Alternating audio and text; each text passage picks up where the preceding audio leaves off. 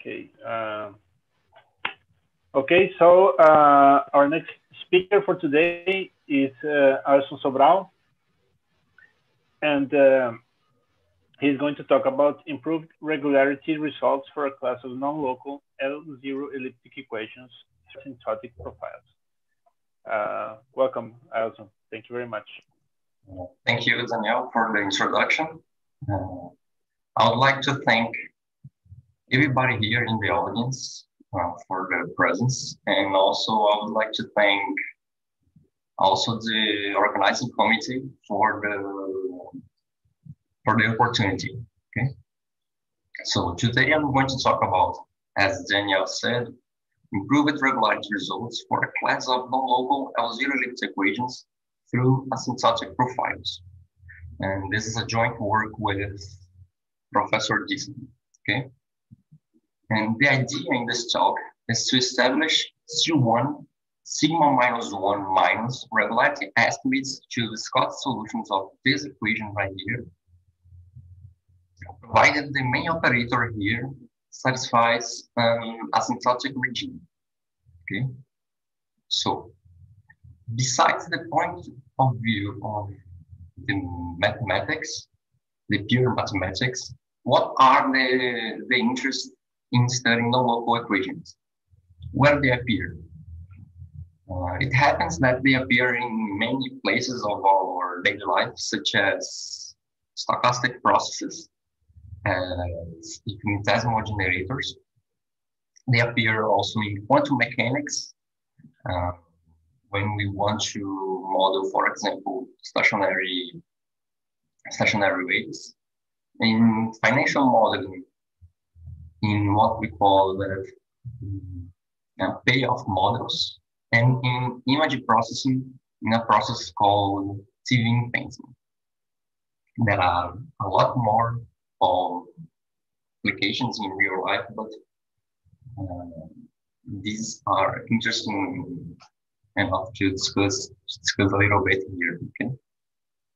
So uh, what is the, the regularity background for solutions of this equation here? Uh, everything started with Caffarelli and Silvestre in 2009 in a paper on pure and applied mathematics.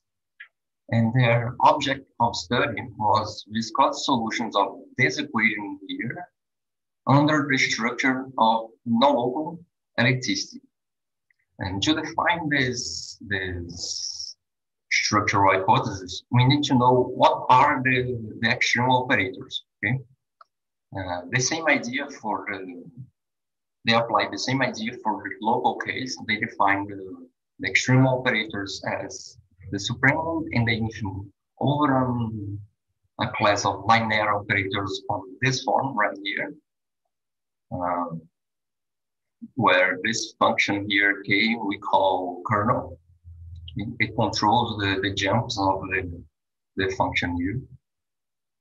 And the ellipticity condition, no local ellipticity condition, is this inequality here, provided u and v are regular enough. Okay. And in this paper, Caffarelli and Silvestre proved that for this class of kernels, uh, interesting tools are available. For example, um, compar comparison principles and Alexandrov Bakelman Pucci estimate, the non-local version of it, of course, and Harnack inequality, Hölder estimates, and for a subclass of this class L0, they are able to prove C1 alpha. Two years later, uh, the same authors in a paper on ARMA extend their pre-results for L0 ellipse equations. The main operator here is L0 with coefficients and a bounded right-hand side.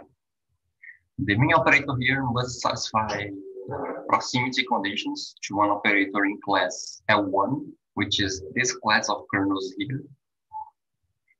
And they establish a very interesting approximation theorem that assures the C1 alpha regularity. Okay? The same authors in a paper on nanos uh, prove a version of the Evans-Krylov theorem for non-local equations. They prove C sigma plus alpha regularity estimates for a homogeneous equation, which is an infimum over um, uh, an infimum of linear operators, uh, which are elliptic to a subclass of this class L1 here, which is called L2. Okay. Um, we have a paper from Serra in 2015 in which he proves C sigma plus alpha regularity estimates for now for general concave equations, but with rough kernels, that is uh, L0 elliptic equations. And the main difference here between this paper from uh, Caffarelli and Silvestre and this paper from Sam is that to deal with the lack of regularity of the kernels here, he needs to he needs uh, he needs to assume some regularity at the boundary of the equation. Okay. Uh, we also have this paper from Dennis Kriventsov in CPDE, uh, in which he proves C1 alpha regularity results for equations V, uh, in which are um, C1 alpha regularity results for equations uh, only L0. And our task here is to improve this value of alpha up to sigma minus one minus, okay? And there are a lot more of papers, but uh, I bring these papers used for, for discussion, okay? So I'll give now some preliminaries that we are going to need to give our main definition. And the first, de the first definition is the, the notion of Scott's solution. And we say that a function u is a subsolution to this equation here. And we write this inequality if whenever a function, a C2 function phi touches u from a point x0, and we choose as test function this function psi here, we have this inequality. Uh, the idea to define super solution is the same by reversing the inequalities. Okay? So, um, and Silvestre in their paper, they show that we can change for the set of test functions, this function phi here for second order polynomials and we can, can take n as a ball center of the touching point. And in fact, this is just ellipticity and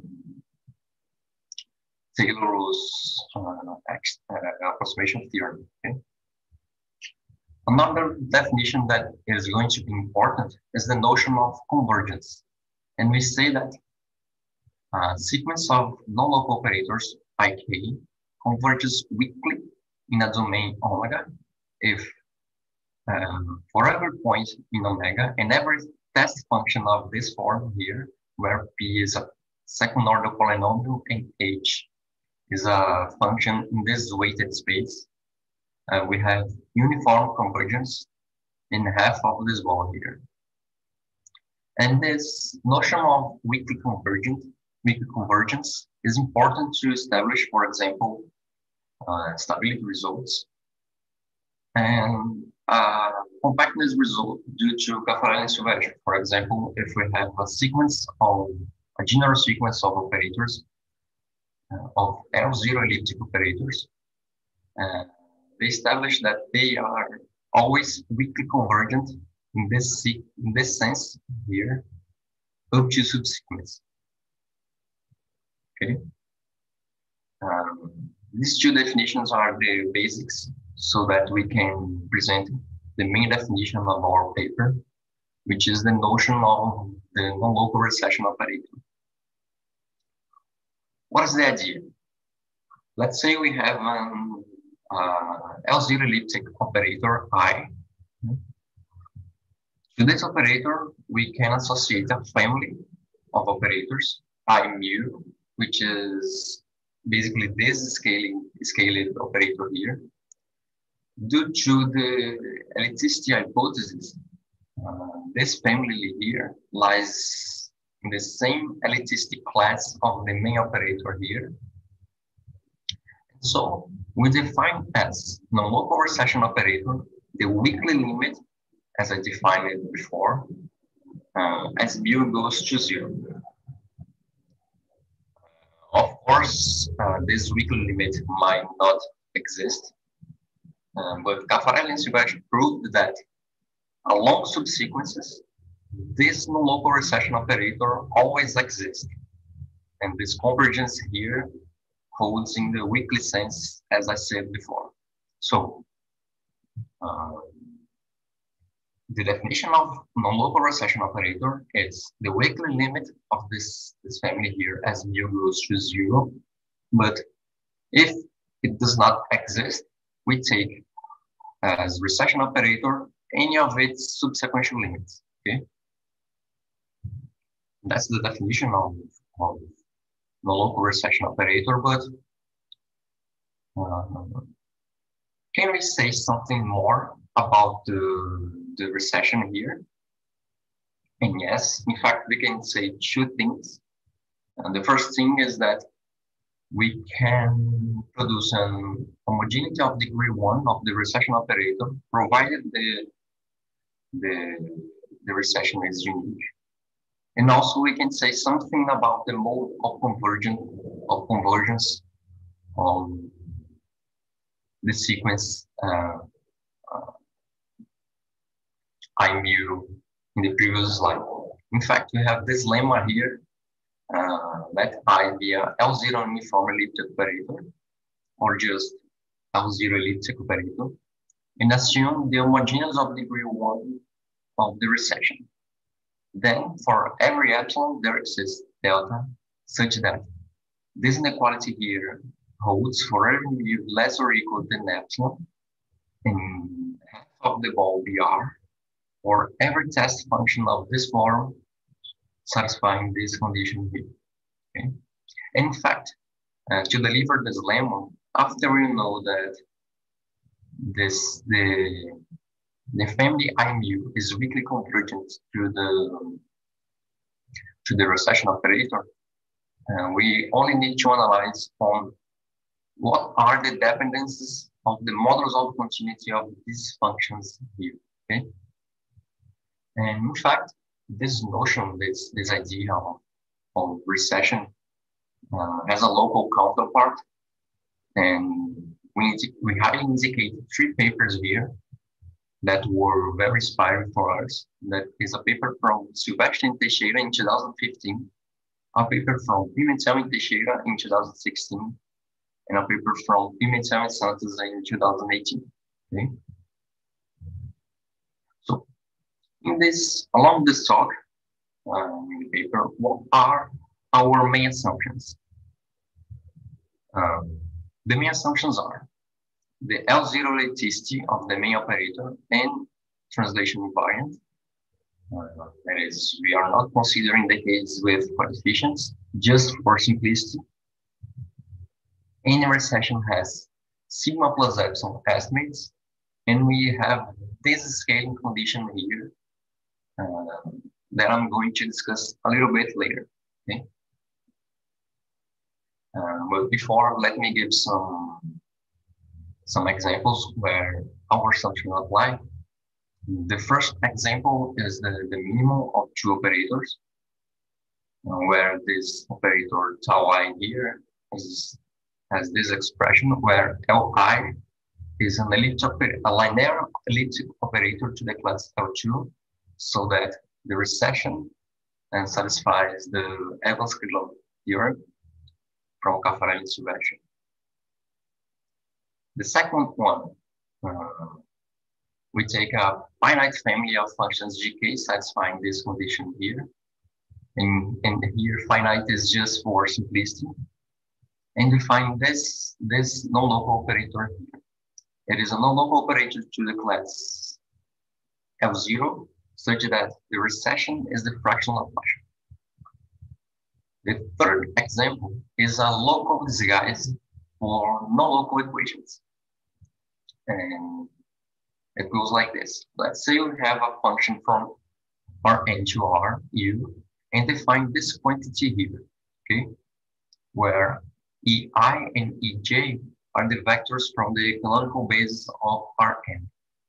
And now consider this symmetric matrix here. Now take any lambda lambda elite operator such that the recession goes to the trace function. And consider this operator here. This operator is um, L0 elliptic such that the recession is the fractional Laplacian. And we highly indicate this paper here from NUIU in CPT to, to another interesting results about this type of, equations, okay? So let's go back to assumption A3 and try to, and let me try to explain why do we need it. Uh, consider this example here. Let's say f is a function, as a real function, as in example two. And let's say u is a solution of this equation here. Notice that this operator here, um, it satisfies assumption A1 is F0 elliptic operator and translation invariant. The recession function of this operator is the fractional Laplacian, but it does not satisfy assumption A3. But what is the problem? The problem is the following. Uh, let's say we want to prove C1 alpha for this function here, okay? To prove C1 alpha, we need to analyze which type of equation this scaling here solves. It will solve a, a very good equation with this operator here, I lambda, where I lambda is this operator here, this no-local scaling operator here. After the change of variables, uh, the form of the operator is this right here. And notice that since lambda is less or equal than one, strictly less than one, in fact, it is going to zero, this factor here uh, is getting bigger and bigger. And therefore, we need we will need smaller values of mu uh, than the original the original operator, and therefore uh, we get that scaling it will delay the convergence to the recession operator for iterative methods, uh, which is the case here. Okay? And that's why we need to force this assumption A3. Uh, now we can discuss a little bit about the improved Rev-Light theorem.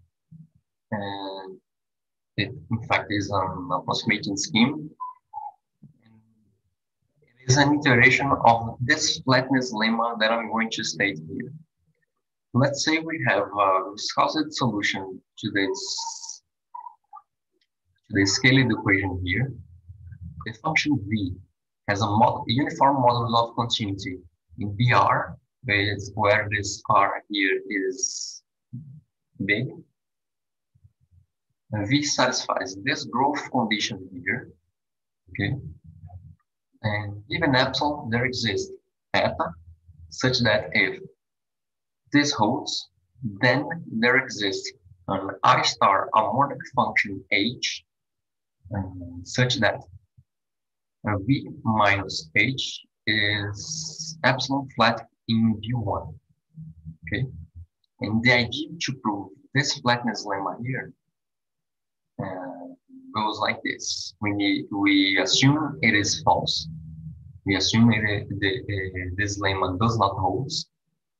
To find sequences Rj, Vj, Fj, Uj, and Fj such that Vj solves this equation with Rj going to infinity, Fj going to zero, Uj going to zero, eta j to zero, but uh, n function Vj is epsilon far away in the L-infinity norm of any I star harmonic function H in V1. Okay, and the idea is since Vj has a uniform modulus of continuity BRG uh, from Arzelana we add that it converges it, it converges uh, up to subsequence in compact sets of Rn and therefore almost everywhere in the entire space. Uh, it also converges in the in the weighted space due to, due to the growth condition. And this, this sequence of uh, scaled operators here converges quickly to the recession function. And therefore, we pass to the limit in this equation here to get a quantization. Okay. And the improved regularity theorem is an iteration of this flatness lemma. And it goes like this. Let's say we have a viscosity solution of this uh, equation here, where I satisfies the three assumptions at the beginning. And therefore, we get that U is C1 alpha and B1 half for every alpha less, strictly less than sigma minus 1 and holds an uniform estimate. And the idea of the proof is that we scale the equation one time so that the flatness lemma apply, and that's it. We don't need to scale it anymore. We construct a sequence of affine functions, okay, uh, approaching you in a C1 alpha profile. And now the key observation uh, is to analyze which type of equation these scalings here satisfy. It will satisfy a very good equation with a good bounded right inside here. And this operator IMUK, where IMUK is this operator here, uh, which from assumption A3 can be written in this form. And that's why we need this assumption A3 here, because um, due to the range of alpha, this factor here, lambda to the power of k plus um, sigma minus 1 minus alpha, does not increase the value of mu. And therefore, the flatness lemma will apply to this scaled operators here, I mu k, and the proof follows. Uh, I did not bring the entire proof here because it's uh, quite uh, quite long. And my presentation finishes here. And thank you very much for the attention. Thank you, I also for, for the very nice